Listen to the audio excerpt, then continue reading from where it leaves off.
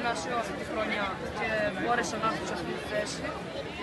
Ε, εγώ πιστεύω πως τα ρατσιστικά φαινόμενα είναι πολύ κακά, αν και στο σχολείο μας δεν τα αντιμετωπίζουμε, διότι έχουμε παιδιά από πολλές εθνικότητες και προσπαθούμε να συμβιβαστούμε με εκείνα.